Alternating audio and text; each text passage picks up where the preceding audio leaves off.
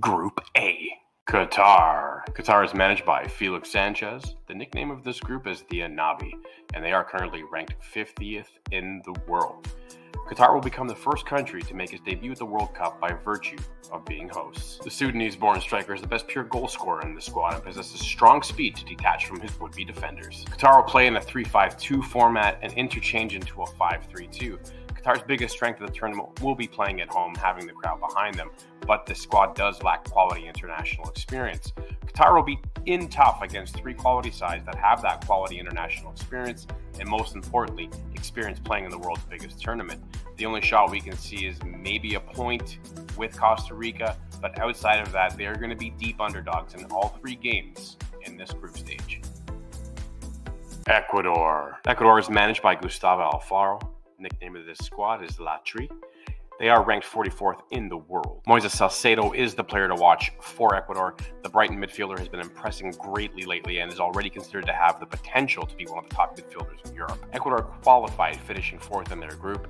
The style of play of this team is they're extremely defensive with very high level flashy speed on the wings, which is set up very nice for that counterattack. They are tough to play against, very strong, very quick, and they do have a clear idea and very tactical. Now, this is going to be a very tough group for Ecuador with Senegal and Netherlands above them. Uh, this group will most likely finish with those two teams there. Uh, Ecuador vying for a win and some points in the group stage. Senegal. Senegal is managed by Aliou Cisse.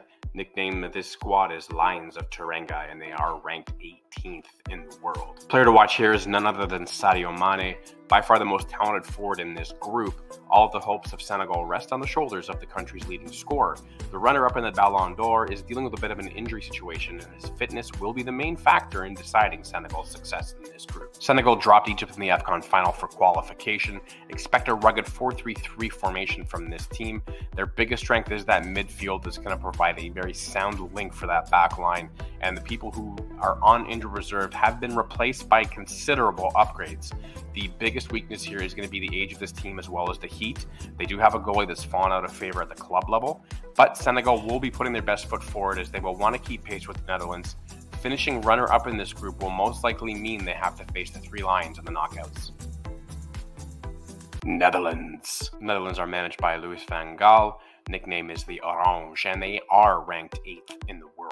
There's no doubt that Frenkie de Jong will be the player to watch uh, his control of the orange three man midfield will put on an absolute display with his deft touch and passing ability on the ball while making astonishing plays in extremely tight situations. Netherlands went on a seven match unbeaten run to finish off their qualification.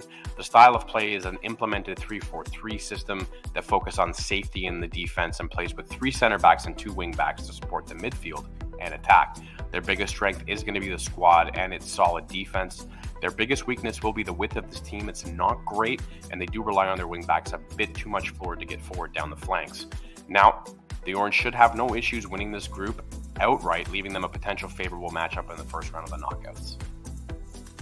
You can see some long odds for the outright wins. We are going to focus here on win the group as well as advance. Uh, we do see the Netherlands winning this group with a perfect 3 0 at a minus 225. And we do see Senegal sneaking two wins out to advance through the group stages with a minus 110. So lock that in Netherlands minus 225, Senegal minus 110 to advance through the group stages. Don't forget to hit that subscribe button for more quick and concise and hard hitting World Cup information.